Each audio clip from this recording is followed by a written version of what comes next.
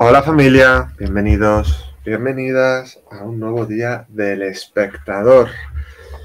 Ya sabéis que en la editorial Libros con Atenea queremos divulgar cultura, queremos compartir cultura y por eso todos los miércoles gratis en nuestro canal de Twitch vemos en exclusiva una película gratuita por el Día del Espectador, como bien indica el título que tengo encima de mi sombrero.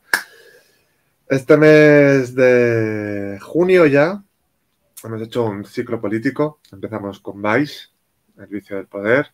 Seguimos con el instante más oscuro. La semana pasada vimos La vaquilla, que fuimos al humor español. Y hoy entramos al mundo a las solas del feminismo con The Glorias, de la directora Julia Taymor. Una película del 2020 con Julian Moore, Alicia Vikander, Beat Meter o Jalin Moraine. Una película que nos sumerge en la vida de Gloria Steinem, una destacada líder feminista y escritora.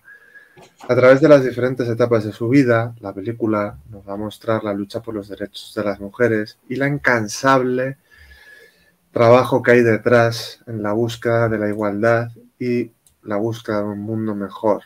Es un retrato inspirador de una mujer que nos dejó huella para todos y todas. Fabiola, nuestra querida Patreon que nos acompaña en cada sesión del espectador, ¿qué te pareció esta película? Hola, buenas tardes. Y me, gustó porque la conozco, la puse ahí porque vivía en mi casa, esta señora. La tenía mi mamá en los libros, Gloria Steinem, y, la conozco desde chiquita. Así que me gustó eh, todo este revisionismo que han hecho con la vida de ella no solamente con esta película, sino también con otra que se llama Mrs. America, que sería la, otra parte del feminismo, ¿no? Las, stop em, era, em, que eran de, eh, del partido, em, del otro partido, del, del partido. Sí. Y bueno, me gustó volver a verla porque bueno, ya todas esas fotos eh, no, las, no, las, tengo, eran libros de mi mamá que no, que no los tengo. Así que me gustó verlo. Y vos querías, vos decías, ay, nos falta el cuarto poder, que es el periodismo, pero ella era periodista, freelance, em, y siempre estudió en ciencias políticas y siempre estuvo en casi todas las campañas políticas. Es decir, que está muy unida. Es decir, a la política y al activismo eh, desde lo suyo, que era el activismo eh, feminista. En toda, es decir, 60, eh, fines de los 60 y sobre todo que toma mucha más fuerza en los 70. Eso es verdad, como decía Fabiola, que yo para cerrar el ciclo quería algo del cuarto poder. Lo que pasa es que vamos a ser un poco redundantes con el tema de, de la época de los 2000, porque ya vimos Vice y creo que ya se revisó ese, momento histórico. Todos los hombres del presidente está muy bien, pero es volver un poco más allá de lo mismo, lo mismo, lo mismo. Y buscamos una película diferente para, cerrar el ciclo y creo que Gloria, eh, de Glorias nos da un cierre de altura porque nos invita a reflexionar sobre cómo se lucha con los derechos del ser humano, porque tenemos que tener todos por venir a este mundo, ¿no? Y lo hacemos de la mano de una de las feministas más destacadas de nuestro tiempo, porque eh, no hace mucho tiempo estamos hablando de los años 60, 70, ¿no? Y estamos hablando de lo que se dice la tercera ola feminista y de también podemos ver aquí el movimiento de, derechos civiles que se dio en Estados Unidos con, con Martin Luther King, con Martin con Martin X, con Malcolm X, perdón, entre otros tantos líderes destacados que lucharon por, los derechos civiles, ¿no? Y, esta película muestra a una persona humanista, ante todo, ¿no? Porque ella era escritora, era periodista, era analista social de, de una gran profundidad, viendo por qué se produce, hay una persistencia o una estabilización de, de rol en la sociedad que, marca una desigualdad.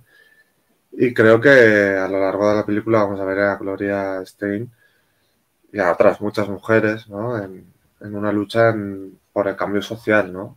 Y, y que nos da esta sensación, la película, esta visión de que el cambio real no sucede de la noche a la mañana, sino que hace falta perseverancia, resistencia y una determinación incrementable. Sí, ella, eh, está, la película está basada en este libro, que es eh, Mi vida en la carretera, y mm, esta película de Glorias, que acá se llama eh, El diario de Gloria.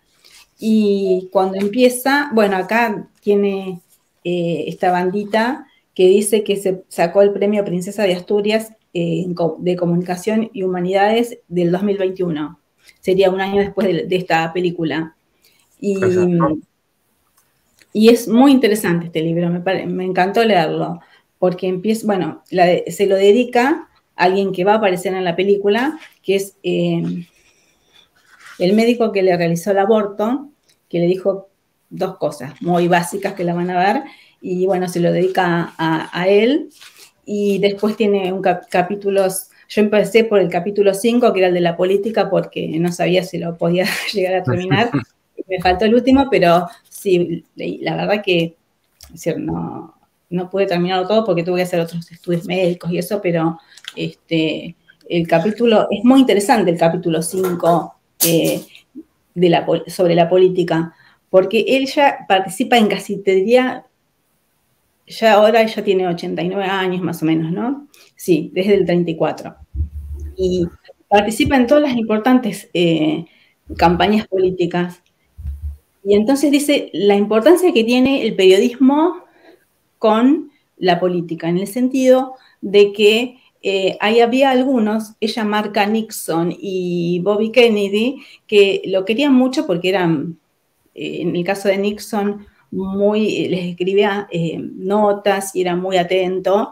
Y, Bobby Kennedy, bueno, lo querían porque iban en el avión con él y por ahí decía, bajemos acá y le decían, no, acá son solamente una reserva indígena de 50, 150 personas y él bajaba igual y entonces decía como que eh, después, recién cuando eh, él falleció, cuando pasó lo de Nixon, recién se dieron cuenta de qué tipo de persona eran y mientras tanto simpatizaron con ellos y es como que le transmite, el periodista es un puente que transmite a la gente. Algunos están, eh, lo hacen por dinero porque le pasarán dinero, en el caso de ella en, ningún momento te podría decir que, eh, que tiene como eh, no sé, una preferencia. Sí vi un video que pasaban en, YouTube, me pasó un, short, que mm, a ella le preguntan si trabajó para la CIA, luego de que viene de, la India, y ella no lo niega, dice que sí, que trabajó para la CIA, que sería el servicio de inteligencia de ellos, en la época de los estudiantes en los campos, en los campos estudiantiles. Ella no lo niega, pero después cuando se lo vuelven a preguntar en el 70 y algo, dice que ya no trabaja más. Y ella eh, dice, en ese momento la CIA era, palabras de ella, era, este, era, mis compañeros de la CIA eran ilustrados, liberales eh, y antifascistas. No era una CIA... Eh, como, digamos, turbia o violenta. Bueno, eso es un poco una, ilusión, ¿no? la gente que haya conocido de la CIA, claro, porque los que estaban al mando de la CIA en los años, bueno, hubo el jefe de la CIA, el que formó la CIA en los años 40-50, que ahora mismo no me acuerdo cómo se llamaba, que lo instituyó Kennedy y que estuvo en la comisión de la investigación del asesinato del propio Kennedy, Alan, es que no me acuerdo el apellido Mm, era una persona, fue de los primeros en instituir los golpes de estados por detrás, por ejemplo, en Nicaragua y tal. Entonces, es visión. Claro, ella no renegó, pero si vos haces los numeritos de cuando ella viene de la India, eh, vuelve de la India, quizás no era como ella lo decía. Pasa que decía, ella decía lo siguiente, que la hacía, le daba eh, becas a los jóvenes, ¿no? Y que había otras empresas que le daban también becas, pero bueno, no eran liberales, no sé, no sé, había algo ahí que no, no me cierra, que no está acá, porque yo tendría que haber elegido una eh, biografía, esta es un, diario de ella, digamos, que me parece interesante porque es una personalidad interesante eh, dentro de, lo que es el feminismo y, es, es, valiosa. Pero no leí una biografía de ella. Y algunas cosas que me están pasando era, ya lo de la CIA no me cierra, digamos, ¿no? Pero ah, comparadas con las otras, con las otras personalidades, tampoco ninguna era tan... Mm, hombre, venimos, eh, la película que muestra muy bien es el contexto histórico del cambio social que se estaba dando en los años 60, ¿no? El director de la CIA que me hacía mención antes es Alan Dulles, que además venía de, de, Alemania, no vamos a entrar en más detalles, y fue fundada por, por Truman y en el periodo de los 40 y los 50 es un periodo muy conservador. Es verdad que luego en los años 60 se rompe muchos esquemas de la sociedad, hay que hablar de la guerra de Vietnam, evidentemente habría que hablar ah, de muchas cosas, ¿no? De, del contexto político y cultural de, los Estados Unidos de, aquella época, ¿no? Porque también podemos hablar de, Malcolm X, que he hecho antes referencia a él también, o a Martin Luther King, o al propio Bobby Kennedy, ¿no? Que intentaron luchar por unos movimientos civiles que elevaran la democracia y, los derechos humanos, pero se enfrentaron contra un poder muy, muy, muy grande. Las historias de la CIA eh, son muchas. De hecho, esto de cuando has mencionado que ella estaba en la universidad, en la investigación, la primera vez que se abrió el correo y se investigó el correo fue bajo el mandato de Nixon, ¿no? Entonces, una época de, alta, de alto voltaje, podríamos decir, en la que ella, sin duda alguna, hablando de voltaje, ya fue un electrón, porque ella dio vida en, diferentes campos. Entiendo que sus grandes personalidades la tratarán con, un amplio respeto. Pero sobre todo también vamos a ver una cinta en la que vamos a ver desafíos y obstáculos. O sea, no, no vamos a ver una, una cinta en la que no vamos a ver hay una Julian Moore espectacular, pero que, lucha y que tiene una, muestra una identidad y una fortaleza increíble interpretando este, este gran personaje que deja una huella y como antes bien decías, premio Princesa de Asturias, ¿no? De la comunicación.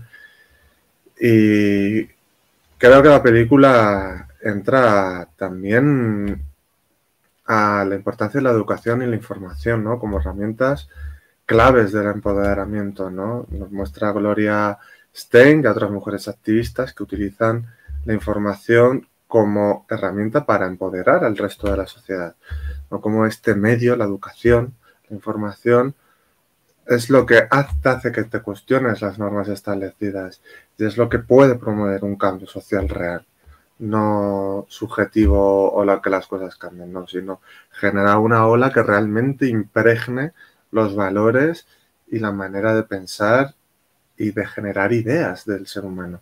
Y eso me parece que está brillantemente retratado en la película. Sí, porque eso también eh, lucha eh, en los movimientos de, los negros, ¿no? va al famoso discurso donde Martin Luther, Luther King pronuncia, eh, tuvo un sueño, ¿no? Claro, entonces está muy, y, se une mucho también a esa lucha. Por eso me parece una lucha valiosa. Más allá de, porque todas tienen esas cosas así. Hay una que había escrito eh, el mejor libro de feminismo, que, es, que era eh, Mística, bueno, no me acuerdo, pero eh, aparece en la película, que era la escritora más famosa y estaba en contra del lesbianismo. Entonces, dar, juntarse todas esas mujeres feministas que una no quería una cosa y, eh, y, poder acordar, porque ella cuando va a la India dice lo importante que fue para ella ir a la India, porque ahí se reunían y escuchaba, eh, y, escuchar a todos, porque dentro de ese movimiento era la que, era que, mm, digamos que no, iban tanto al conflicto, escuchaba a todas y, mantuvo durante muchos años esa lucha este, porque tenían sus roces y aparecen también en la película, ¿no? Este, porque no puedes poner todo el feminismo junto. unas tenían una lucha, otras otras, y eh, en cuanto a lo que vos decías de educación, vos pensás que la mamá y aparece que eh, vende la casa para que ella pueda ir a la universidad. Exacto. Porque ahí no es educación gratuita, tienen que pagar. Entonces, por eso quizás ella haya, no sé, acudido a la CIA para que tuvieran becas los chicos, no sé, bueno, la CIA ya sabéis que eh, los servicios de inteligencia de las universidades recopilan grandes, grandes cerebros y dan becas. Eso es una cuestión, o sea, el talento que hay en los servicios de inteligencia no es baladir y los presupuestos que se invierten en capital humano son importantes y es un capital humano muy importante para, para, para la sociedad, ¿no? Porque ya la recopilación o la o las conclusiones que ya puedes sacar de un acto son mucho mejores que las que te puede sacar una persona normal. Y esas, la inteligencia, bueno, las becas en Estados Unidos premian eso, ¿no? Y la CIA, al igual que muchos servicios mm, de información del mundo, becan y están en las grandes universidades, incluso siendo profesores en grandes materias, ¿no? Vamos a hablar del caso de, este muchacho que huyó de, de Estados Unidos con información que Oliver Stone le hizo una película. Ay, no me acuerdo el nombre. Que no, lo he visto venir lo de los servicios secretos. Bueno, esta persona que se fue de, Estados Unidos con información, su profesor de, informática era, un era trabajaba para la CIA y le reclutó el, propio profesor. Es decir, es una cosa muy normal y muy común en, el mundo, ¿no? Y más el tema de las becas que te financian tu educación, tus sueños y tu, y tu capacidad de superarte, eso quién no lo quiere en la vida, ¿no? Sí, bueno, ellos, ellos tienen en cuenta que no sean comunistas y todo eso. A mí, yo era admiradora, hace mucho que no, no la leo, tendría que buscar un libro nuevo de Angela Davis, que negra también, activista, se lo pasó toda su vida en la cárcel por ser de izquierda. Mm. Y fue discípula de Althusser.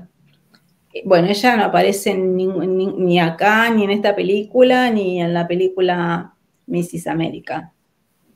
Sí, bueno, es que el contexto social de aquella época hay muchas películas que podemos recomendar. Yo recomiendo Malcolm X con, con un gran Delsen Washington interpretando este papel entre, entre otras tantas, ¿no? Porque la lucha de los movimientos civiles que hubo en, aquel momento fue grande. Snowden, que ya me ha venido el nombre. Perdón. ¿Cómo se llama en español? No sé yo. Snowden, que era el, que filtró los datos de, inteligencia sobre cómo se filtró tanta, como que los, servicios secretos espiaban a su propia población. Bueno, en fin, que me ha venido eso. Lo que queremos decir con, con esto de la educación es que es ella usó los recursos y, potenció y vio el mundo y también intentó potenciar a las demás, ¿no? Y es muy interesante lo que comentas de la tercera ola, porque había muchas personas a favor del lesbianismo, otras no. Podemos poner también el ejemplo de una gran película, las Black Panthers, ¿no? Que también, también asesinaban y eran, podemos decir, mucho más radicales o muchos más mm, reaccionarias en sus, en sus objetivos, ¿no? O en su manera de afrontar la, la lucha por la igualdad. Es un contexto muy complicado, también marcado por los asesinatos de Kennedy, de los dos hermanos, de Martin Luther King, eh, una época muy convulsa de, la historia de Estados Unidos, con la guerra de Vietnam, que también podemos hablar de Platoon, entre otras grandes películas que, describen el contexto. Incluso Forrest Gump, para, para, para abanicar todo, todas las posibilidades que hubo, que hubo en, aquella época y en aquella generación, ¿no? Y una de las grandes figuras es la persona a la que hoy le dedicamos eh, nuestra sesión de cine por el Día del Espectador. Hizo una revista feminista, esa que, bueno, está, ahí, la de en rojo, que es, es eh, MS, se escribe, ¿no? No eran ni Miss, ni Missis, así se llama la revista, MS Magazine, no sé cómo se pronuncia. Eh, y Sí me acuerdo que yo vi un documental sobre la vida de Linda Lovelace, que eh, era un icono de, la pornografía, que se había hecho muy famosa porque en la época cuando sale Nixon con el caso Watergate, él prohíbe esa película que se llamaba Garganta Profunda. Entonces, bueno, era, cuando vi el documental, era un desfile de políticos de Jackie Kennedy, todos mirando la película que había prohibido Nixon, porque, oh, si te, bajan una película que tenés que ver del gobierno, no la vas a ver, porque vas a decir, ¿por qué me están intentando censurar algo, no? claro, pero cuando, cuando la censuran van todos. Eh, era un acto político la, eh, la, película, porque eran, yo me acuerdo de Jackie porque es la, la más digamos, la que más me, llamaba la atención. Pero era un desfile para ver esa película Garganta Profunda. Entonces, cuando pasa la protagonista de esa película, Garganta Profunda, pasa a ser un icono del feminismo porque ella le, hace el prólogo de un, libro, de cómo había sido abusada para entrar en, en, la industria pornográfica, todo eso. Y me acuerdo de eso que no aparece en la película, pero siempre estuvo presente en casi todo. Eh, es una, persona que ha estado muy presente con su activismo feminista y he visto todo. Y cuando ves esta película y ves la otra película que eh, hace, eh, es la protagoniza Kate Blanchett y hace la que sería la, que no está de acuerdo con todo esto, que es católica y todo, a ambos grupos vos ves que por más que intentan, intentan, intentan, intentan y hacen todo ese activismo, siempre la mujer, por más lucha que tenga, que no le falta algo para, para, para salir más adelante, ¿no? Acá ves que al final termina bien porque termina con ella, que hace todo, y en todas las capitales del mundo, cómo surgió, todo. Pero hay algo que, una puerta que Sí, el famoso techo, techo de cristal, ¿no? Que parece que no hay nada encima tuya, pero hay un techo todavía por encima de ti al que tú no puedes acceder, ¿no? Como que no puedes acceder a la azotea y crees que no hay ningún techo, ningún nivel más por encima tuya. Porque como este cristal es transparente, no hay nada más, ¿no? Ya hemos llegado. Ya hay como un, un techo de cristal que no, que es una gran metáfora para describirlo como lo ves, pero no lo ves y no hay nada más, pero hay algo más. Eh, una maravillosa metáfora. Y sí, la historia acaba, podríamos decir, bien. Para algunas personas pueden decir mal, pero es que eh, los cambios sociales no se dan de uno en uno. Si a lo mejor no hubiera existido Virginia Woolf, no hubiera inspirado a muchas personas a, a luchar por la igualdad, ¿no? A luchar por tener una habitación propia. El cambio social humano por, aunque nos pese que a muchas personas nos gustaría que fuera más rápido, más fresco, más flexible para todos, es un proceso muy complicado y que lleva muchos, muchos, muchos siglos. Por poner el ejemplo más sencillo, ya en Europa y en gran parte del mundo se hizo la revolución burguesa y aún seguimos buscando la democracia eh, y la verdadera ilustración. Es un proceso pues como el ser humano, caótico y que lleva mucho tiempo. Y como decíamos en sociología, hay varias olas del feminismo, ¿no? Estamos en la tercera ola en ese contexto que ha empujado a, nuevas olas y a, nuevas posibilidades, ¿no? Ya, ya que nuevas personas busquen nuevos enfoques, ¿no? Como mujeres en la historia, que saquen mujeres que han sido influencias en la historia y han sido abandonadas por la misma, mujeres que se han visto empoderadas por ver otros modelos y se han atrevido a luchar contra el cambio climático, contra crisis económicas, contra crisis alimentarias, que han ocupado puestos de poder.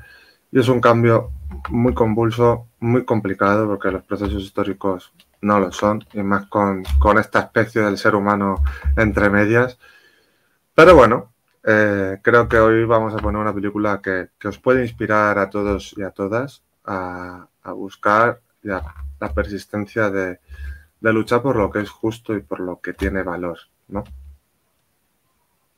Sí, bueno, ellos eh, a partir de, la cantidad de años eh, que, fueron, que, tienen ese activismo, es como que hacen como una evaluación a ver si los candidatos políticos pueden o no aspirar a la presidencia de acuerdo a determinados valores que ya ponen, primero que tengan, es decir, eh, que tengan, que, eh, los salarios eh, sean dignos, guarderías, hacen toda como un, tienen como una especie de lista a ver si pueden aplicar o no para ser presidentes. Es decir, que es importante desde los 70 que vienen llevando esto, cómo, cómo se mantienen para poder llevar eh, una democracia digna, ¿no? Real y digna, ¿no? Y que sea sincera y honesta en sus principios y en sus acciones. Pues hasta aquí el previo o resumen de la película. Eh, las personas que nos estáis viendo en YouTube, ir corriendo a Twitch ahora mismo en directo, porque el vídeo se ha publicado hace media hora y la película empieza en cinco minutos. Así que ir corriendo a Twitch a ver la película que empieza ahora a las 10, como cada miércoles en directo en nuestro canal de Twitch. Cine gratis por el Día del Espectador. Hoy de Glorias.